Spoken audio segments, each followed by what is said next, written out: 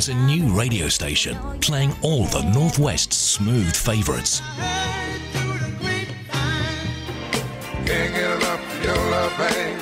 Go with the flow. 100.4 Smooth FM.